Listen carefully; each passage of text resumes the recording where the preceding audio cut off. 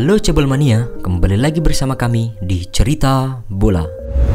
Hasil pertandingan Liga Spanyol semalam, Real Madrid semakin tak terbendung di ajang La Liga musim ini. Terbaru, Real Madrid menggasak Atletico Madrid dalam pertandingan pekan ke-17 Liga Spanyol di Stadion Santiago Bernabeu. Pertarungan ini dimenangi El Real dengan skor 2-0. Dua gol Real Madrid dicetak oleh Karim Benzema dan Marco Asensio. Dengan hasil ini, Los Blancos semakin mantap di puncak klasemen sementara. Sementara itu, di pertandingan lain, ada Barcelona yang bertandang ke markas Osasuna. Sempat unggul lebih dulu, Barca harus puas meraih satu poin usai hanya mampu bermain imbang 2-2. Dengan hasil ini, El Blaugrana masih tertahan di peringkat ke-8 klasemen sementara La Liga. Sedangkan Villarreal berhasil meraih kemenangan 2-0 kala menjamu Rayo Vallecano.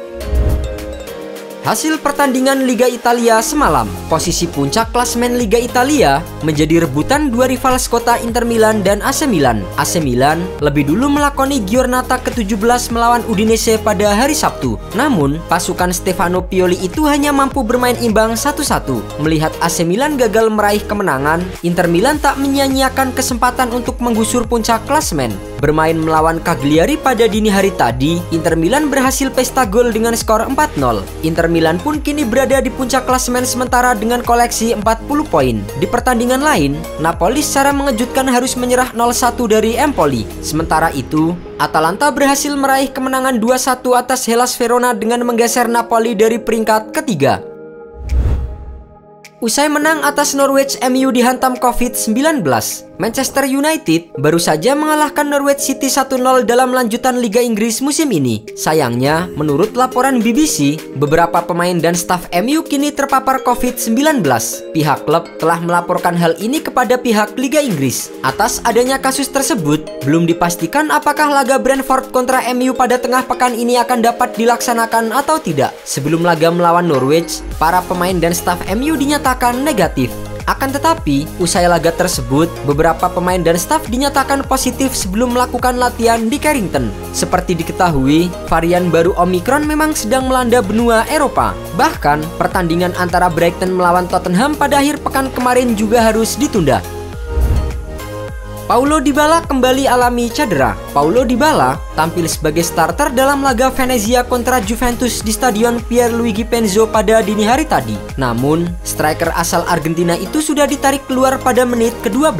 Dybala mengalami cedera pada paha kanannya. Sebelum pertandingan melawan Venezia, Dybala juga ditarik keluar di pergantian babak saat melawan Malmo di Liga Champions karena masalah yang sama. Kini, Dybala masih harus menjalani pemeriksaan untuk mengetahui seberapa parah cedera cederanya kali ini. Namun, itu tak menutup fakta bahwa Dybala kerap diganggu masalah otot pada musim ini. Menurut Football Italia, Dybala sudah empat kali cedera dalam lima bulan terakhir. Hal itu berawal ketika ia bermasalah dengan paha kirinya yang membuatnya menepi selama tiga pekan pada Agustus lalu.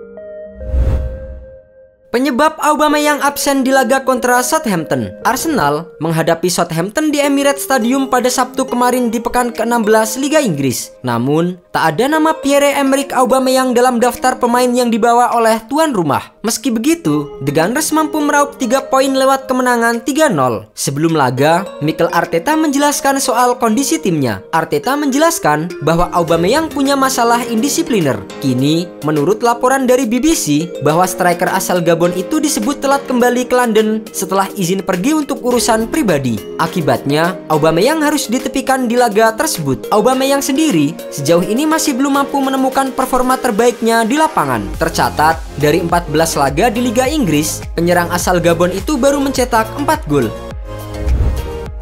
Lionel Messi dan Kylian Mbappe bantu PSG Lumata AS Monaco. PSG melakoni laga pekan ke-18 Liga Prancis musim ini dengan menjamu AS Monaco. Bermain di kandang, PSG berhasil memetik kemenangan 2-0. Dua gol PSG seluruhnya dicetak oleh Kylian Mbappe. Dengan hasil ini, PSG berhak meraup 3 poin dan makin mantap berada di puncak klasemen Liga Prancis dengan koleksi 45 poin. Tak hanya itu, kemenangan pada laga kali ini juga melahirkan rekor bagi Lionel Messi dan Kylian Mbappe. Messi Untuk kali pertama berpartisipasi dalam dua gol PSG dalam dua laga secara beruntun di semua kompetisi. Sementara itu, Mbappe mencatatkan rekor sebagai pemain paling muda yang berhasil mencetak 100 gol untuk satu tim di Liga Prancis. Mbappe memecahkan rekor tersebut pada usia 22 tahun 357 hari. Joshua Kimmich menyesal belum vaksin COVID-19. Kimmich positif COVID-19 pada bulan November lalu dan bakal absen sampai pergantian tahun. Meski periode karantinanya sudah berakhir, gelandang 26 tahun itu rupanya mengalami gangguan paru-paru. Ia pun melanjutkan rehabilitasi dan diperkirakan baru siap bermain lagi pada Januari mendatang. Kini, gelandang timnas Jerman tersebut mengaku menyesali keputusannya untuk tidak segera mendapatkan vaksin. Pemain timnas Jerman itu memang belum mendapatkan suntikan vaksin COVID-19 karena sebelumnya ragu dengan vaksinasi. Ia kini mengaku menyesal dan berencana mendapatkan vaksin. Jerman sendiri saat ini tengah menghadapi gelombang baru COVID-19 seiring dengan merebaknya varian Omicron. Saat ini, Jerman tercatat punya lebih dari satu juta kasus aktif di berbagai wilayah. Kembali ke Atletico Madrid, Griezmann akui sulit adaptasi.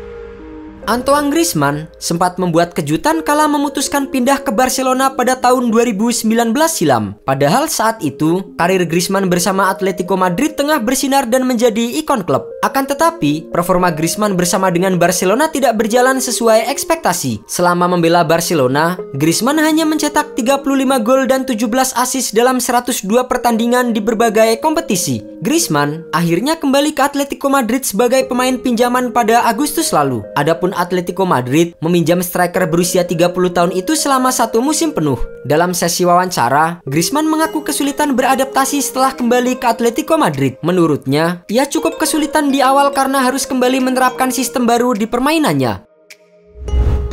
Mourinho ungkap strategi transfer AS Roma pada bulan Januari.